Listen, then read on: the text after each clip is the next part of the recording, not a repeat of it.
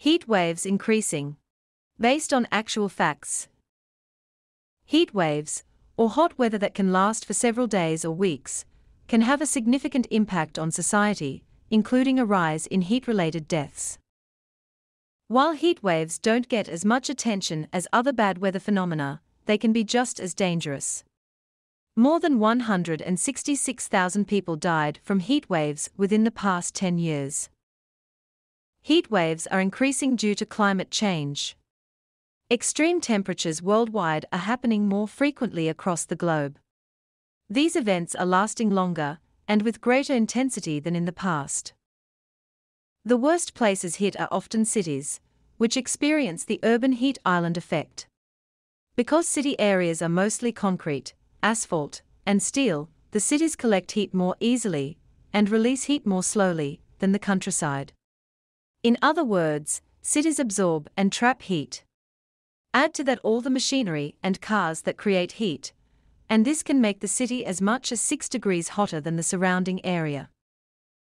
Heat waves cause water shortages and power outages. With all the buildings running air conditioners, it strains the city's power grid. Some cities have to do rolling blackouts, that is, where sections of the city don't have power for a few scheduled hours each day. When too many people experience heat exhaustion, this can burden health and emergency services. Health wise, heat exhaustion and dehydration can lead to death. The body strives to keep a core temperature of about 37.5 degrees Celsius. As the temperature around the body rises, the body has to work harder to keep cool. Heat that is trapped in the body will escape through the skin, causing a person to sweat more. As the sweat evaporates, it cools the skin by releasing the heat.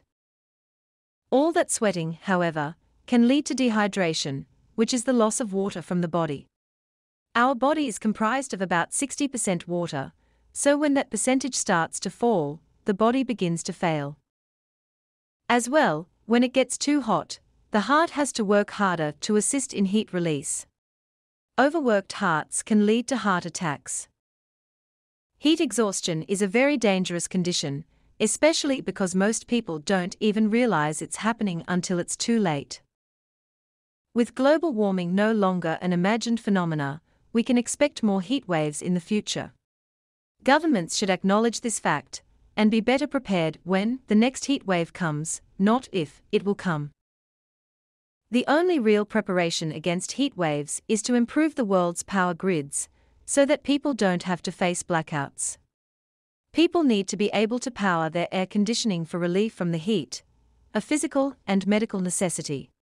As well, individual homes should store a few extra cases of bottled water, just in case.